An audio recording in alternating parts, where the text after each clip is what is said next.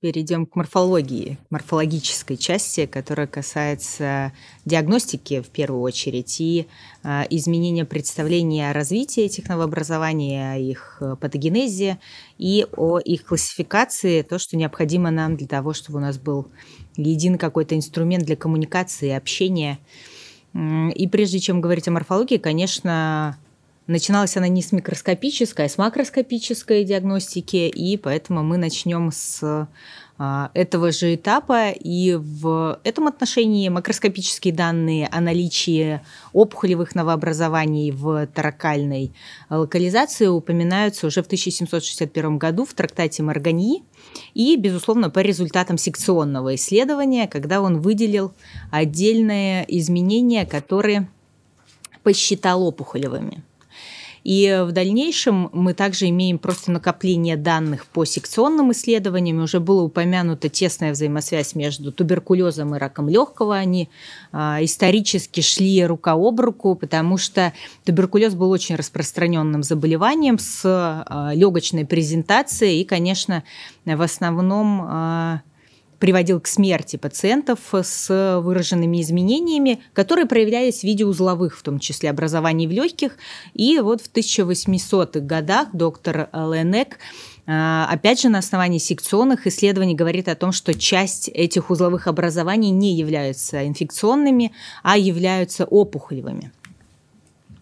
Но на тот момент э, инструментария э, у нас не было того, который мы имеем сейчас. И несмотря на то, что микроскопическая диагностика в принципе была доступна, потому что первый микроскоп был сконструирован практически 200 лет э, до того.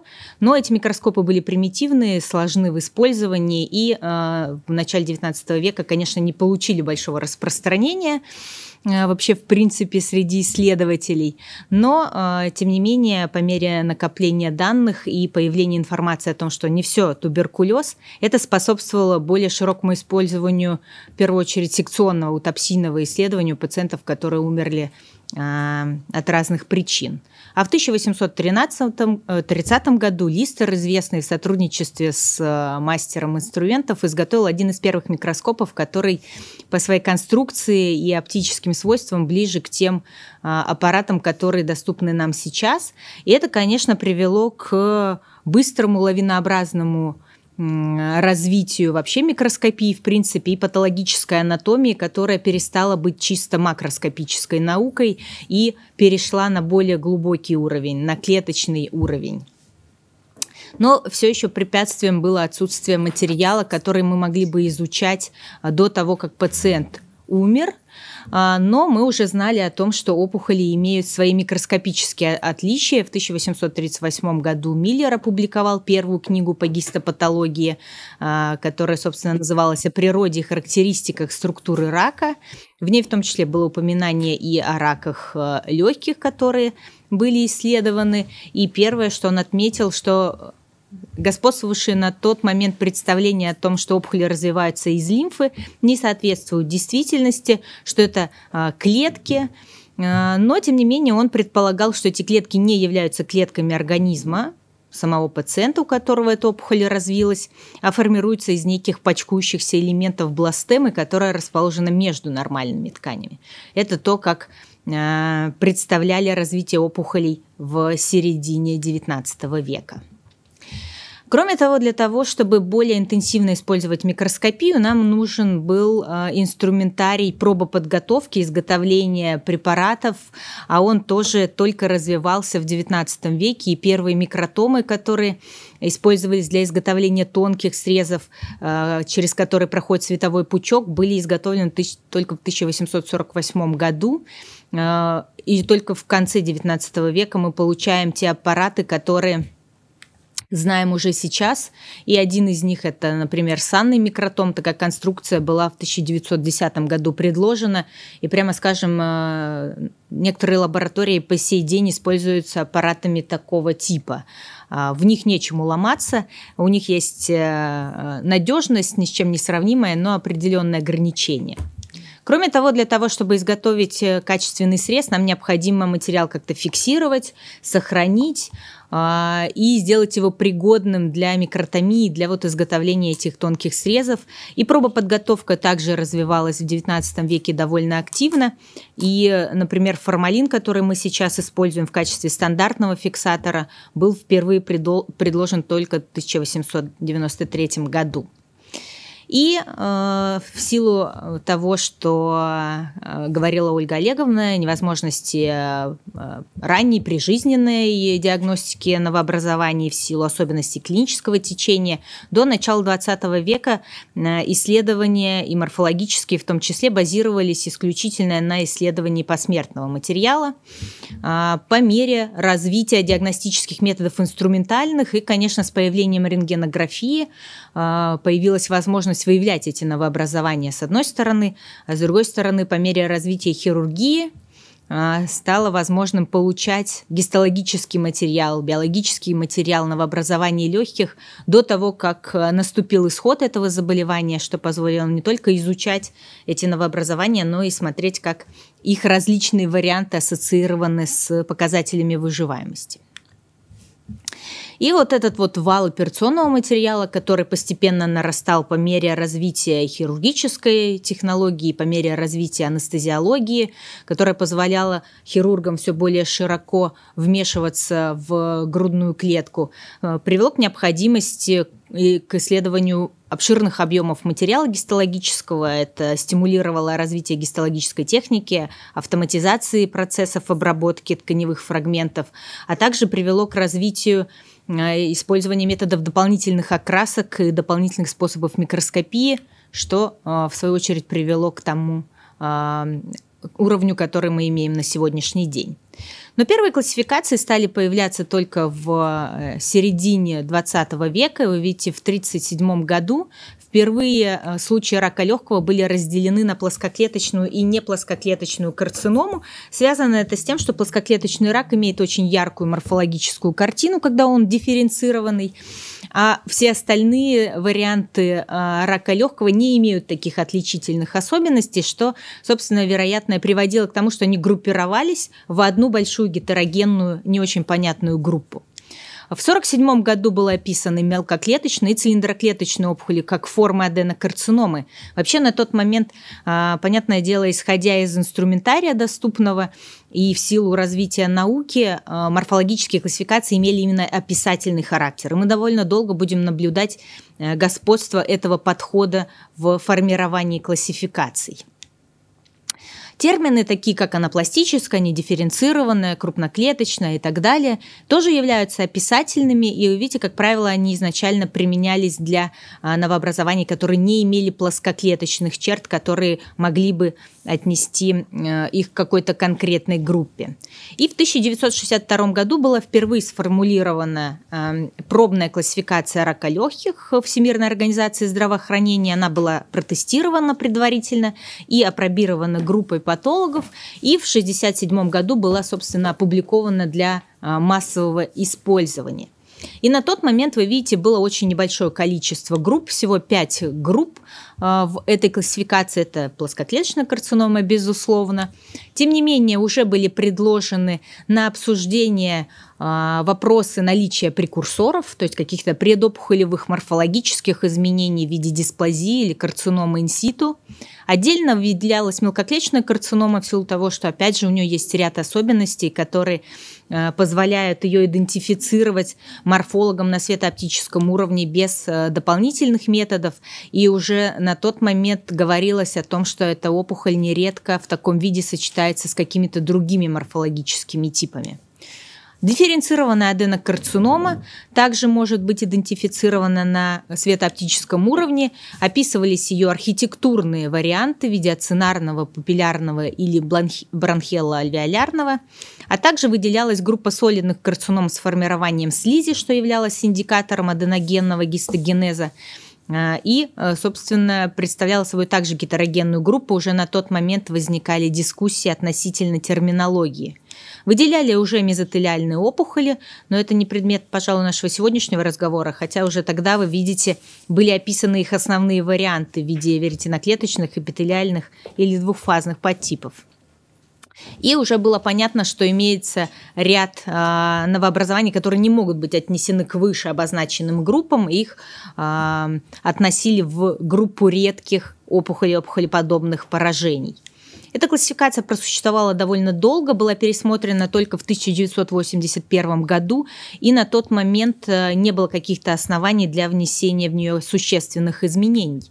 Эти основания появились позже, когда в 80-х годах в морфологическую рутину стала приходить э, дополнительная окраска в виде иммуногистохимического исследования, когда мы смогли выявлять тканевые антигены, визуализировать их для того, чтобы оценивать в простом световом микроскопе. Это привело, конечно, к существенной трансформации морфологической классификации с точки зрения э, разделение того, что нельзя было раньше разделить. Но при этом глобально она не изменила своей сути. Это оставалась описательная классификация, которая базировалась исходно на том, что мы наблюдаем в микроскоп.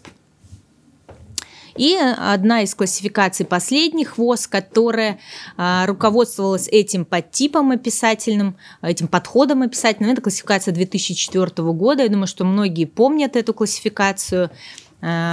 Она уже гораздо более подробная с точки зрения э, группировки на какие-то когорты. Но, тем не менее, вы видите, даже по тем рубрикам, которые в ней представлены, плоскоклеточная карцинома включала ряд а, описательных характеристик э, с точки зрения вариативных проявлений а, морфологической картины. То же самое касалось аденокарциномы, в которой выделялся как один из частых смешанный подтип и выделялись отдельно чистые подтипы. Конечно, на сегодняшний день подходы к классификации изменились, и э, изменилось это, конечно, в середине уже 2000-х, э, 2010-х годов, когда помимо э, такого молекулярного косвенного метода, как иммуногистохимия, прямые молекулярные исследования стали более доступны и позволили продемонстрировать гетерогенность в первую очередь не плоскоклеточного, не мелкоклеточного рака легкого и показать все разнообразие, всю молекулярную гетерогенность, или не всю, хотя бы вот эту верхушку айсберга молекулярной гетерогенности рака легкого.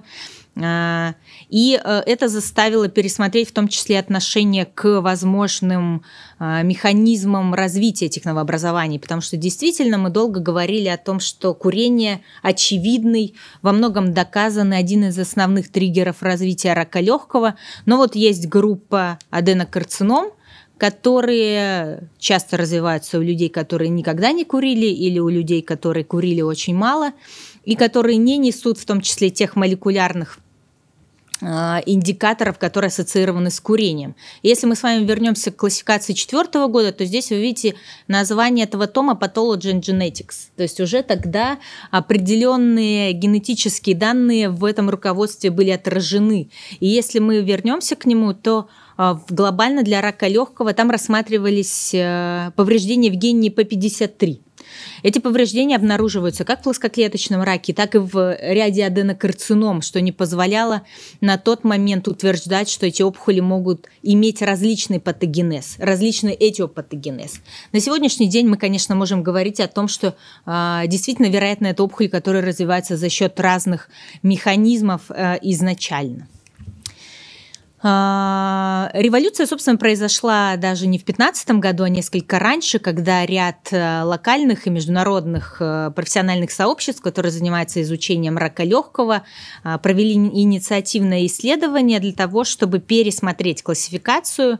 Э, и это привело к тому, что этот подход после тестирования оказался релевантным и в большей степени применим для клиники. И, пожалуй, это одна из первых классификаций ВОЗ, которая в большей степени обращена к клинике, к исходам, к ассоциации между нозологией или классификационной единицей и тем, каковы будут последствия для пациента, какие э, требуются воздействия для того, чтобы заниматься лечением этого новообразования. То есть можно говорить о том, что это клиника морфологическая классификация в противоположность предыдущим чисто морфологическим классификациям.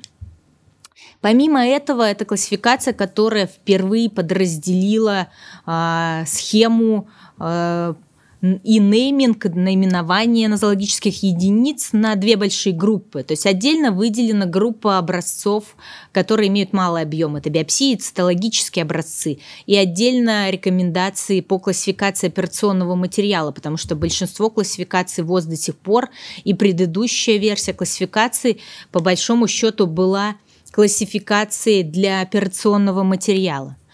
А, как так получилось? Связано это, конечно, безусловно, со структурой заболеваемости раком легкого. И здесь не важно, что это приведены данные по а, Великобритании, мы можем взять данные по любой стране мира, и глобальный расклад будет примерно такой же. Это довольно э, э, относительно небольшой процент случаев, которые имеют на момент диагностики раннюю стадию, могут быть излечены чисто хирургически. Это довольно большой процент случаев, которые требуют так или иначе системного лечения. И те изменения, которые нашли отражение в этой клинико-морфологической классификации, они, собственно, обусловлены достижениями, которые э, на сегодняшний день пришли в клинику. Они обусловлены изменением возможностей в клинике которые привели к тому, что необходимо морфологам, диагностам решать другие задачи. Вот, собственно, что мы можем наблюдать, потому что в 2000-х годах э, был мелкоклеточный рак и не мелкоклеточный рак. И терапевтические опции, собственно, э, были доступны только для пациентов этих двух групп – и э, в структура немелкоклеточного рака мало интересовала клиницистов на тот момент. Но в, с течением времени появился бивацизумаб, и оказалось, что э, плоскоклеточный рак имеет высокий риск осложнений, и для клиницистов стало важно, какой подтип морфологический не мелкоклеточного рака легкого. И эта задача встала перед диагностами, и нам необходимо было решать ее достаточно точно, в том числе с использованием дополнительных методов исследования. И далее, по мере накопления молекулярных данных, не только о гетерогенности аденокарцином легкого, но и о том, что эти молекулярные перестройки могут быть мишенью для соответствующей терапии, диагносты, конечно, стали перед необходимостью тестировать не только с точки зрения э, постановки диагноза какие-то маркеры, но и с точки зрения выбора терапии. И э, так как эти задачи и выбор терапии, э, и задачи по подбору лечения разнятся в зависимости от того, мы имеем дело с операбельной или неоперабельной э, формой рака легкого, соответственно, это и привело к тому, что классификация, как мы ее видим сейчас, при ее такой ориентации на клинику имеет тот вид, который она приобрела.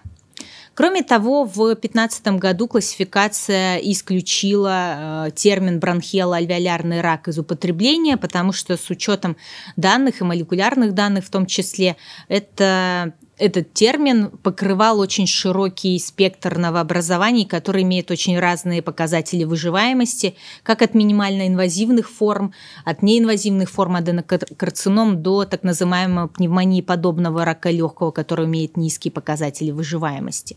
И, собственно, вот эта вот ориентация в клинику и ориентация классификации на э, те действия, которые необходимо предпринимать в отношении пациента, привели к тому, что классификационные критерии перестали быть чисто морфологическими, перестали быть чисто микроскопическими, и это в ряде случаев вызывает э, конфуз у патологов, потому что, допустим, одним из классификационных критериев стал размер узла, который не всегда мы э, без клинических данных, без рентгенологических данных можем объективно оценить. И э, мы должны его учитывать с точки зрения классификации и не можем уйти от этого, потому что критерии таковы. На сегодняшний день мы пользуемся версией классификации, которая была опубликована в 2021 году. Глобальных каких-то э, более кардинальных изменений, чем в 2015 году, не произошло. Несколько изменилась структура, она стала э, более логичной и э, соответствует концепции пятой серии классификаций Всемирной организации здравоохранения. Но здесь мы можем наблюдать эм, так сказать, более рафинированные современные представления о патогенезе рака легкого. Потому что глобально эти опухоли могут быть разделены на две большие неравные группы. Это опухоли курильщиков, как правило, это центральные новообразования, которые имеют плоскоклеточную морфологию. А, э, небольшая часть какая-то часть этих случаев имеет аденогенную морфологию, имеет вид аденокарциномы. Как правило, это опухоли, которые ассоциированы с мутацией в гене КРАС. Но есть также группа аденокарцином, в первую очередь легкого, которые развиваются у людей, которые никогда не курили. Это опухоли не ассоциированы с этим внешним фактором. Они часто развиваются путем приобретения активирующих мутаций в гене GFR или каких-то других мутаций, более редких. И э, также часто имеют э, морфологию аденокарциномы. Безусловно, возможно какое-то количество промежуточных форм, возможно сочетанное влияние этиологических факторов, в том числе у людей, которые имеют какие-то э, промежуточные показатели с точки зрения тяжести курения, но тем не менее можем говорить о том, что вот в этом спектре есть два ярко выраженных полюса, которые имеют различные профиль молекулярных нарушений и различные морфологические проявления. Что касается других факторов риска, помимо курения, то действительно обсуждается влияние факторов э, неблагоприятных окружающей среды, вредных факторов известных, э, влияние каких-то факторов профессиональной вредности, но, э, к сожалению, для пациентов, которые э, не курильщики, которые не имеют очевидных вредных факторов, иногда называют развитие этих аденокарцином с драйверными мутациями bad luck, то есть это просто не повезло. А, это представление на сегодняшний день. Скорее всего, с течением времени они изменятся, и мы посмотрим, как будет развиваться ситуация дальше. Спасибо за внимание.